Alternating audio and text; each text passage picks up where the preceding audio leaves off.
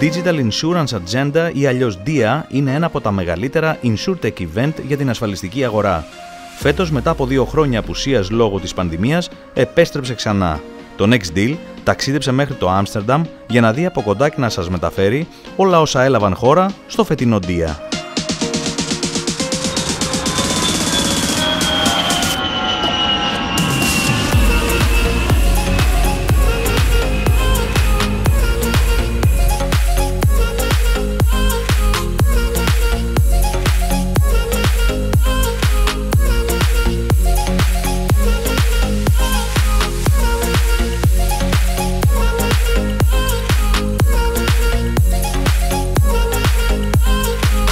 Τι επιφυλάσσει το μέλλον για την ασφαλιστική αγορά ή καλύτερα, ποιες είναι οι προκλήσεις που έχει να αντιμετωπίσει και ποιες είναι οι λύσεις που μπορούν να δοθούν σε αυτές. Στο φετινό Dia στο Άμστερνταμ, πάνω από 1.200 σύνεδροι από ασφαλιστικές εταιρείες, εταιρείες τεχνολογίας αλλά και επενδυτές βρέθηκαν όλοι μαζί για να παρουσιάσουν τα προϊόντα και τις καινοτομίες τους.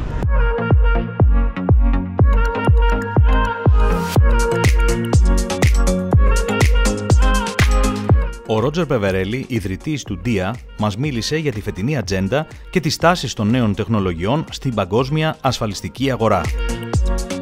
Well, this year, of course, is the age of connected living. That's, uh, you know, all the wearables, all the connectivity that we have in cars and even our homes that are made much smarter, much more intelligent.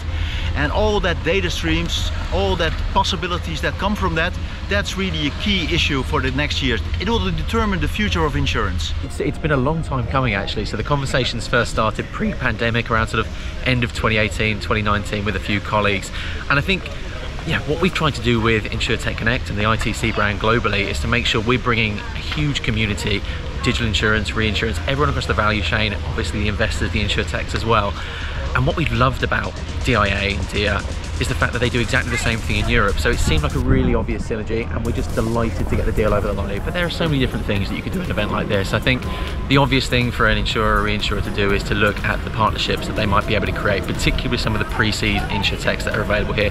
The show and tell format is brilliant for being able to sort of see and showcase exactly what is on offer. Obviously, beyond that, you know, there are partnerships that they can foster. I'm sure there are some commercial arrangements they can get, and also it's a great chance to meet other people in the community. Ultimately, when we set these communities up, it is about that peer-to-peer networking. You can ask questions and have those types of conversations you otherwise wouldn't be able to have in the office.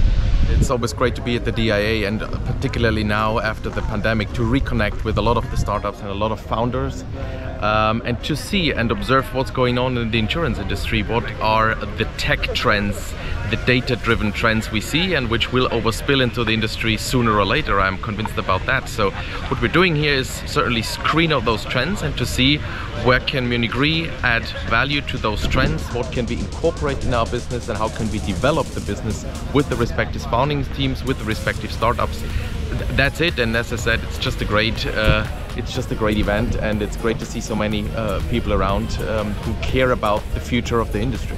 For the insurance industry in general, there is um, lots of elements where digitalization can still be improved and I think what we see here in many of the startups where we where I do see a focus is on the claims area and the claims side where we um, yeah where we see technology playing a an even an uh, overly growing and a bigger role and uh, from that angle I think uh, also the Greek market can uh, be more digitized but that holds true for many other markets as well.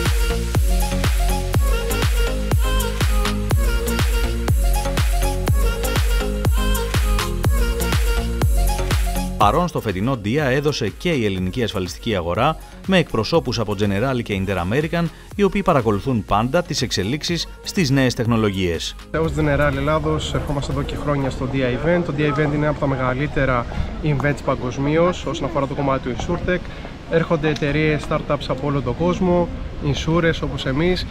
Υπάρχει αυτό το collaboration, η παρακολούθηση των τάσεων της αγοράς και εμείς ως Generali έχουμε φυσική παρουσία και σε επίπεδο group αλλά και ως Ελλάδα γιατί παρακολουθούμε τις τάσεις της αγοράς για να προσφέρουμε όσο καλύτερο δυνατόν digitalized υπηρεσίες στους πελάτες αλλά και στους συνεργάτες μας. Και όπως ανέφερε και η κυρία Κόνορ ο άνθρωπος είναι πάνω απ' όλα και ο πελάτης και ο συνεργάτης αλλά εμείς είμαστε εδώ να τους παρέχουμε τα κατάλληλα ψηφιακά εργαλεία για να τους κάνουμε τη ζωή πιο εύκολη. Η Interamerican έχει βασική αξία της και αρχή της και μέσα στο DNA της την καινοτομία. και ως εκ τούτου παρακολουθούμε στενά τις εξελίξεις που συμβαίνουν γύρω μας και όχι μόνο στην Ελλάδα, αλλά στο παγκόσμιο στερέωμα. Και το DIA νομίζω είναι ένα hub, ένα innovation hub που είναι εξαιρετικά σημαντικό, ιδιαίτερα για το insurance. Ε, κάθε χρόνο βρίσκουμε, με εξαίρεση βέβαια τα δύο χρόνια που δεν ε, είχαμε την ευκαιρία και δεν υπήρξε η δυνατότητα λόγω COVID να, να διοργανωθεί αυτό το event, ε, και τα προηγούμενα χρόνια, όπως και φέτος, βλέπουμε πραγματικά η τεχνολογία να εξελίσσει και να εξελίσσεται με επιταχυνόμενο ρυθμό ε, και κατ' επέκταση να επηρεάζει τη ζωή όλων μας και δει το χώρο της ασφάλισης. Δεν υπάρχει αμφιβολία ότι είναι ένας από τους επιταχυντές της ανάπτυξης, της διαφοροποίησης και της επιτυχίας και για το σήμερα και για το αύριο.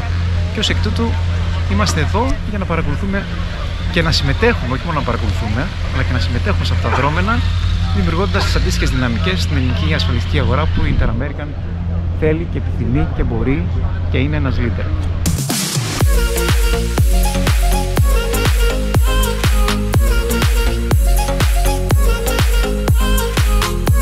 Digital, μια εταιρεία τεχνολογίας γεννημένη από ανθρώπους της ασφαλιστικής αγοράς με μεγάλη εμπειρία και στην ελληνική αγορά, μοιράζεται μαζί μας τους λόγους για τους οποίους επενδύει στην Ελλάδα. very proud that uh, Digital has been invited to DIA this year as well in order to present um, um, our ambitions in building a blue ocean for automatized claims handling. Actually, I don't know uh, if any of you uh, who has I don't know who has worked already in claims management. Those of you who did know that claims management today in insurance companies is pretty much manual and it's done mostly the same way than it has been done 100 years ago, just using emails, Excels, and some workflow optimization tools. Yeah, yeah. And the reason for that is very simple. Only 2% of the information which is needed to perform uh, is available in structured data.